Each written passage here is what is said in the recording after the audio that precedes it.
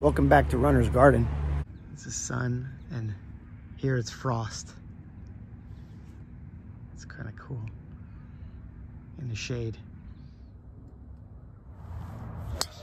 He's getting his hip massage. There's Lenny. There's Maxie. We got baked beans in there, cauliflower going on here, and broiling a steak.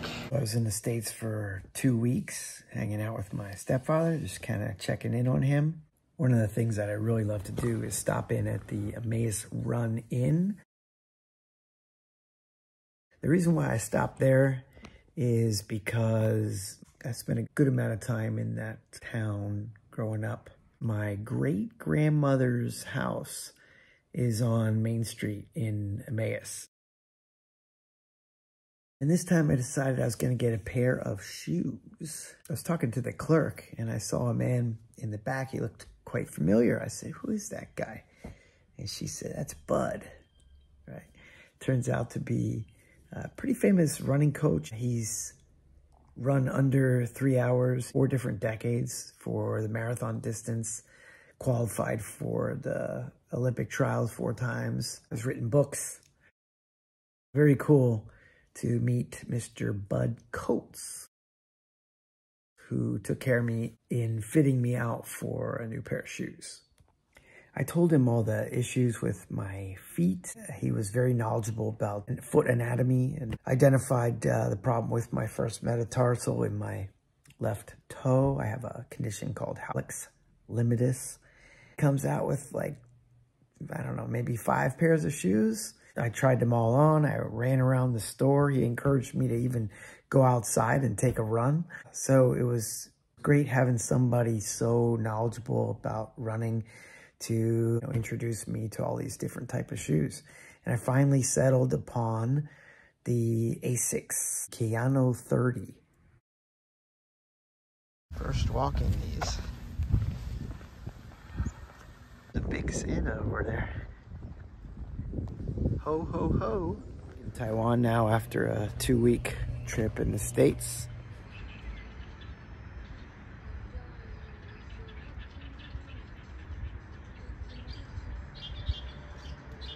Going sockless today. I feel like such a rebel. Slip-on ability. It's okay. I do like when shoes have a tab though. Hope you all had a really nice Thanksgiving. This place to myself, except for the leaf blower.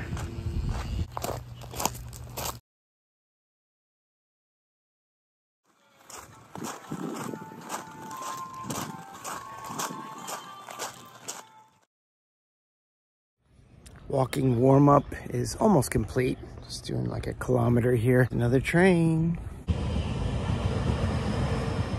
I have jet lag, so I'm waking up a lot earlier than my wife.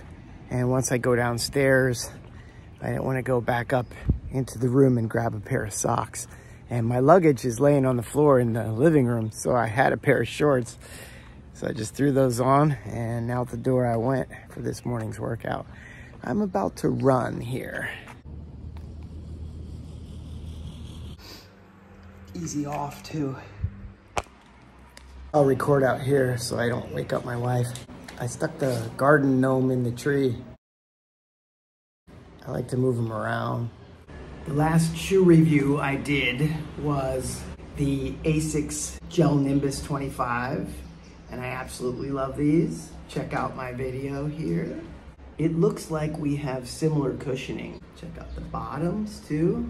Lots of hard rubber on both of them. The Kayano 30s or gel Kayano 30s seem to have these tiny lugs on here.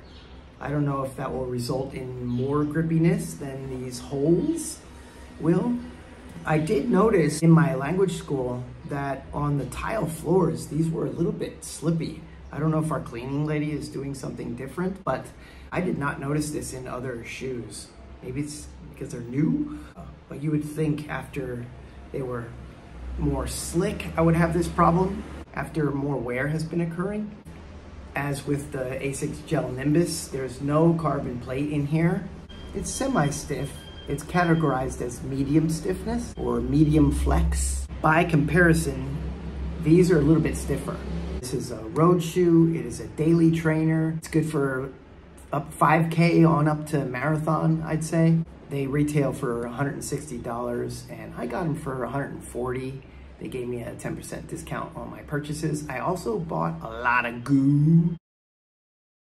This is the 30th anniversary of this shoe. One thing that's new is this mesh, very breathable, which is good for here in Taiwan. They come in 11 colors. I believe this is the deep ocean and white version, although it looks gray to me. The foam around the heel, I like the aesthetics of it. Look at those little lines. It's like wavy. The ASICS logo looks raised, but it's it's not really. It's an overlay. It looks like it's um, stitched, but that's just an illusion. That's just lines on there. A little bit of reflectix on there, as well as here. The overlay around the holes for the laces. They say these run true to size. Seven and a half seemed small for all the shoes that I tried on. Maybe my feet are just flattening out, but now I'm going with eights. Budd was very happy about that because they had more options to give me. Oh, there is kind of a pull tab here. Huh. I just discovered that. A bit of reflectix on there too. It's like a flap. On the ASICS website, they're giving this, or reviewers are giving this a four out of five. That's pretty cool that they're just honest about giving, you know, not giving five stars on their own website. Seems transparent. Really wide base, big toe box, lets your toes splay in there. Really roomy. This is a stability shoe, 4D stability guidance system. For example, you got the heel bevel. You step down, it's supposed to guide you into the proper foot plant. All the way through to a smooth transition and toe off. Rubber kick plate in the front, as most running shoes do. I told Budd that I was a heel striker and he said this is a good shoe for that. He said he's also a heel striker now. Some people have called this a Hoka lookalike. Certainly a lot of cushion. We're going from 40 millimeters here down to 30, so there's a 10 millimeter drop. Great soft landing. Inside of here is the Pure Gel. The foam is the FF Blast Plus Eco Cushion. FF stands for Flyte Foam. Flight spelled F-L-Y-T-E. Budd also had me try the Brooks Glycerin, which is a comparable shoe. Brooks uh, Ravennas were my first marathon shoes, which I bought from the Run Inn when the Run Inn was in a different location on the other side of the triangle in Emmaus. That must have been at least a decade ago. I've been running marathons for at least a decade. Check out this heel. It is really firm. The tongue is attached. There is some stretchy, elastic material on both sides of this tongue. There's a removable intersole and it says carbon footprint plus 10.7 kg CO2e. This was just on my foot and we have been exercising. Sorry. From afar, do you want to make any comments? Not too high, you know. Ever, yeah, ever since I saw 40 millimeter stack height. Yeah, but ever since I bought my super comps. This, oh yeah, this looks your like super comps are like high heeled shoes. Yeah. What are they? 40 New Balance Super Comp version 1 stack height. 47. Okay. Yeah. So it's seven more than that. But that makes a big difference. Yeah, seven. I don't know. There's gel inside there too. Oh. Yeah. My other shoe, there's no freaking plate in here. Look. Not gonna cut these open, but there's gel. I liked the Nimbus and uh, and I went That's back. I went to the shop oh. and I was served by that guy I sent you, uh, yeah. Budd Coates. Mm, yeah. Pretty fit. Did you look up his bio? Yeah, yeah. Yeah, it was really cool to have. He's semi in in the runners world. Mm. World, mm. he's kind of, kind of famous. So it's like, yeah, he's an ultra, right? Ultra runner, or just a marathon. He's done, he's done lots of marathons, and he's gone under three hours in four different decades of his life. That's pretty good. Yeah. So, and his fastest is a 213. He ran pretty fast in, in Mm, Boston. that's- that's- Boston, he got a 213. very good. Yeah, like even today, if you get a 213, like that's, Yeah, I think Sage Canaday, who I used to uh, follow, uh, I think his fastest was like 216 Really? Yeah, I think Yeah. so. I have to check that, but I think well, it depends on race conditions and, Yeah. and course. Mm. They're doing construction next door. If you if you heard that, yeah. So it's a good looking shoe. Hmm. I wear the I wore these teaching a couple days with like nice blue slacks or jeans. Wow. And so good looking shoe. Handsome. I like the color because it's not going to get dirty. Looks like a comfortable shoe. Of course, I haven't tried it. I, I see try it your, on? No, yours is, your feet are too small for me. I wear a size 11. yeah, you will. We'll have to cut the top off. We'll go get my saw. Okay. All right. You want to sacrifice your shoe for me? How much was it? 160, but that's the retail. But I got 10% off. And, So 144. And I bought, I actually got it for one about 140, and I bought a bunch of GUs. There were like 20 GUs, five of which are yours. 140. That's 140. that's 140. decent. You Um, know, the ones that are one generation older are Mm. now, like, you can get them for like 60 bucks US. Oh, I would do that. You mean so this this has a one version earlier? Earlier. Just yeah, one like version. the 29s. These are the 30s. Yeah. Okay. Uh, I just saw that at, on online. Runners That Warehouse. it's Runners Warehouse. probably. Always. yeah. always uh, so that's the difference between the new stuff It's and $80 the, and savings. one. Mm. Well, that's what I did. That's what I did with my Altras. You know, Altra. Altras, the Torin Six that Yeah. I got one year version. Yeah, you save a lot of Yeah, money I that way. saved- I saved People always want the new bucks. stuff and they'll pay for it. Yeah, yeah, yeah, yeah. So I'll get the this year's new stuff next year. okay. so it will be old, but only one year. I want to hear about, and you sent me pictures and video. I want to hear Mm. about your trip. Okay. Did you Mm. start from where we kind of came down the mountain after Yuanzui? No. So Okay. um, I've done I've done this. They call it the National Trail. I don't know why. Just maybe they like to the sound National Trail. Well, it's a national park, right? It is a national park, and the trail is actually about 19 or 20 kilometers from the bottom of Yuanzhuishan all the way to the top of the park where there's a pond. The bottom of. So Oh, the okay. bottom of Yuanzhuishan. So and then the- if you climb it up and go along that ridge, yes, Mhm. that's right. So which I we did Yeah, with yeah. Jeremy and James, but we came down right away after summiting. Yeah, so I think the section we did was maybe three or four kilometers. Only. Yeah, and there was we came to like an intersection where you could keep going. could keep going. Shanghai. Shanghai. Yeah. Mm. So uh, on my second trip, I went all the way to Xiaolai. From that point. No, I, we- I did from Yunzhe. Oh, you went. I oh. went all the way to Xiaolai and over to the park entrance. The section from Yunzhe to the park entrance is about eight kilometers. Okay. Okay. Uh-huh. So I did one section of that with you, James and Jeremy. Yes. And then I did another section all the way from Yuanzhuishan to the park entrance, eight kilometers. Okay. And ran Then- back. And I ran back. Okay. On the And then- road. On the road. That was before I had any problems with my knee. Yeah. And then the second time I went, I, I drove into the park. Wouldn't that be the third now? Yes, third. Yes, third. Yes. Thanks. I have very short memory. So it's the third one. I, I went by myself. I drove into the park, paid the $250 park entrance fee. Yeah. And I drove the car up to the first service station. They only have two. I parked my bike there, left it, and drove back down to the Xiaolai entrance area where the trail came down. Yes. And I picked up the trail from there and I walked another eight kilometers Hmm. and rode my bike back down to the car. Okay, that Gotcha. was That's- section two, third trip. The third trip. So, okay, and this time I drove my car all the way to the top, the end of the road, and I put my bike there. What's that road called? It's just a national park road. Oh, okay, all right. Yeah, Uh-huh. it's inside the park. You have Is it the only main? It's the only road. All right, all right. It's the only road that If- goes into the park. If we're explaining this for people Yeah. who want to do this.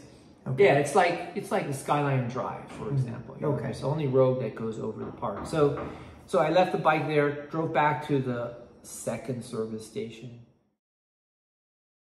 put my car there, and walked up to the pond where I got my bike. And then back down to my car and bingo. It was done. Yeah. So uh, it took me four trips, including the one with you, Jeremy, and James. Yeah. A thousand year old tree. Yeah.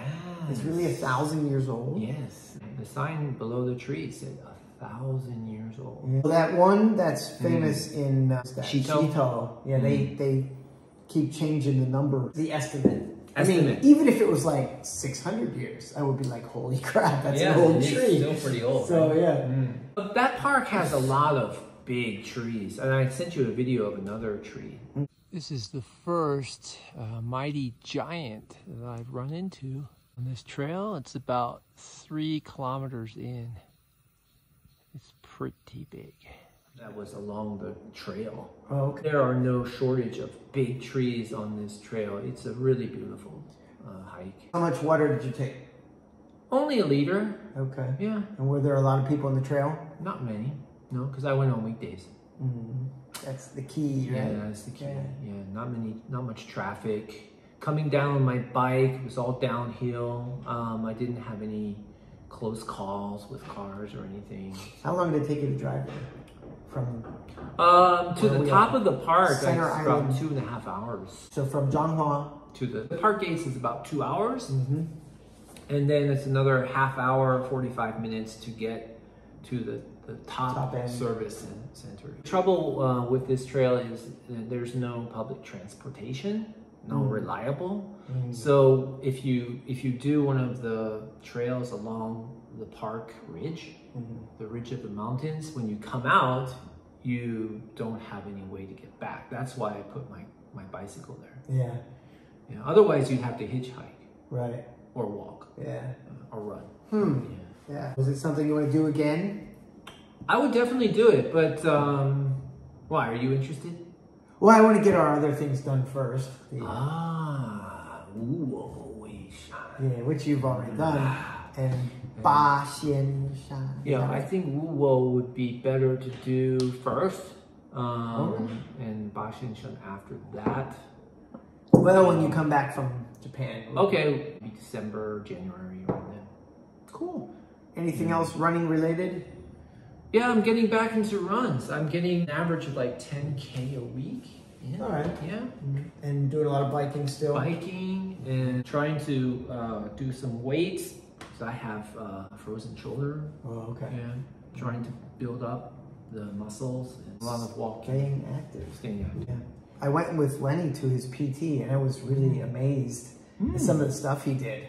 Really? Like they have a full out gym Oh, that's good. with all kinds of stuff in it. They even have those lights that you stick on the wall and you when they light oh, you to press them. Oh, Yeah, cool. he didn't do that, but other people were doing. I was watching what everybody was doing, Ah. and um, all kinds of varieties. It, it wasn't like only one brand of machine. It was like they picked the best machine of all these different companies. Like Oh. they got top notch stuff. Is that a private, like a private gym? It's a like insurance pays for it. It's like for you know occupational therapy, physical therapy, that kind of thing. Does he have a like a trainer goes with him? Yeah, when you go? and uh, most often it's the same, but they he Mm-hmm. knows about three or four of them, who, depending on their schedules. Like one guy was getting married, so Mm-hmm. another woman who actually was his first trainer came back to train him. How and it's like a does he go? forty-five minute session, and he goes twice a week. Okay.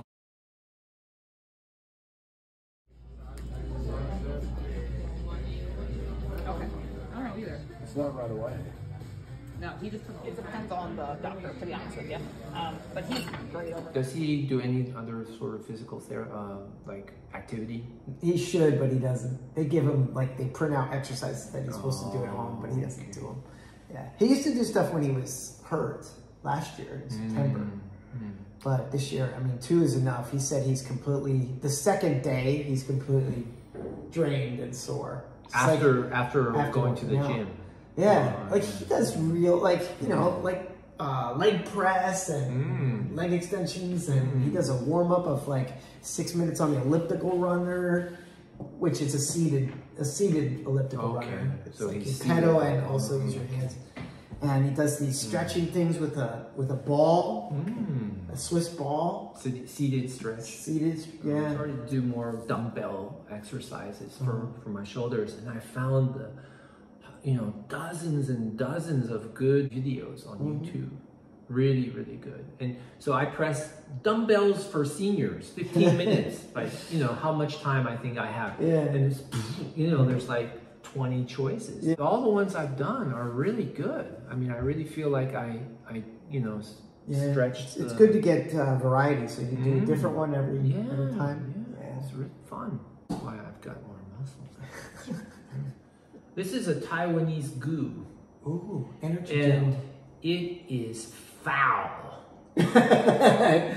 It's the foulest It's tasting, it's nasty, disgusting. Oh, So I have to um, Warn me. Warn you. Even if you got run out of goose, don't get that. So stay away from super power. Uh, is that one flavor? They only offer one flavor. It looks like it's in a gasoline or Windex a- container. it's a- they, they all look like this. Okay. And I so got this from your favorite shop, the Taoyuan camping shop. Carbo. Relax. Relax? So they put caffeine in it and they call it a Carbo Relax. They don't even have the right. Okay, quickly convert instantly supply. coffee flavor. And it doesn't taste like coffee. It, it tastes like crap. Yeah. All right, well, you'll be happy. I didn't. I forgot to bring mm. them in here, but I have at least. I think I have five GUs for you. Oh, okay. in Thank addition you. to the other gift. Oh, thank you So very much. can- Replenish my power supply. I was giving the Taiwan Goo Company a chance, Yeah. you know, but um, yeah. Is that what it just- is? Taiwan Goo Company. Yeah, the name is called Delight Brothers. Okay. international company and it's located in New Taipei City. I should have checked the ingredients before I bought it because the amount of sugar in this is just obscene. Really? How many 30 grams? 33 grams of sugar. Oh. And uh, the GUs that we use, the normal ones that you buy in Yeah, I don't have anything to compare it to. No, I know, they're usually about 10. Oh, really? Yeah. Okay. It's one, one third. Sugar. It really looks like the gas contain. This is like a gas pump here. So I'm saving Jesse this says for... stay away from this. I'm saving this for a major effort. Maybe Wu Bo Wu Bo Wei Shan. This would be good. Just throw it in the trash. No, no, no, no, no, Oh, no, no. I'm Oh, yeah, he's not a wasteful guy. I don't waste. Let's play some music. All right. Yo, flow. Inside out. Yo, flow. Inside out. Yo, flow. I feel like I'm 17 again.